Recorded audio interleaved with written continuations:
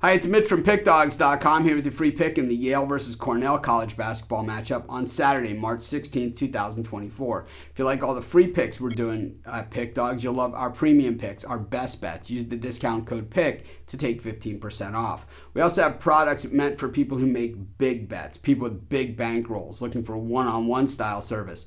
Those picks are not available and those packages are not available on the website. You just have to text the number you see on the screen.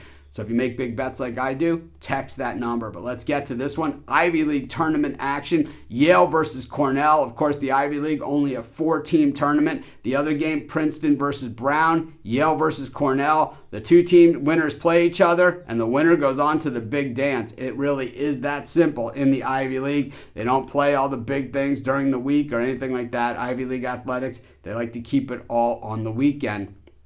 Yale enters this one 20 and 9 on the season, 7 and 3 in their last 10. Cornell 22 and 6. Yale finished in third in the Ivy League this season, while it was Cornell finishing second, but Yale considered the home team in this one. These teams played head to head twice this season. It was Yale 80 to 78 at home. Cornell was a seven and a half point dog in that thing. And then at Cornell, it was Cornell outright 65 62 as a two and a half point favorite. You know, it doesn't mean that, uh, you know, just because Cornell has played well this season. They certainly haven't dominated. They've lost to both of the teams in the other side of the of the bracket, um, Brown and Princeton, in just their last four games. Of course, that was following that win over Yale the last time that the, that the two played.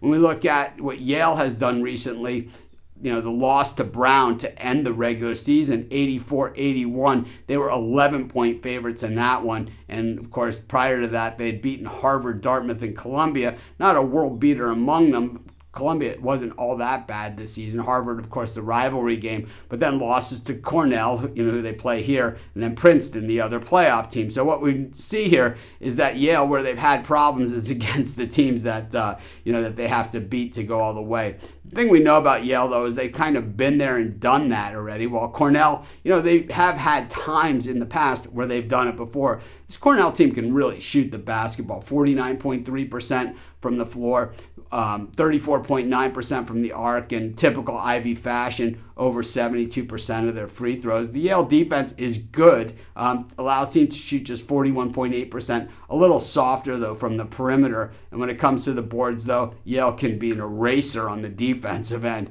Meanwhile, the the Cornell defense just doesn't really stack up all that well. And that is the weakness here of this team, you know, that and the rebounding. You know, generally, I think that, you know, I, I think that Yale's offense is good enough to run with Cornell. And I also think that at the same time, I think the Yale rebounding probably ends up being the difference maker in this one. I'm going to take Yale, and that's going to be my free pick. Of course, while you're doing your picks, putting your bets in, be sure to use our free betting tools at sportschatplace.com. 100% free, and they'll help put you on the most favorable bets on the board today.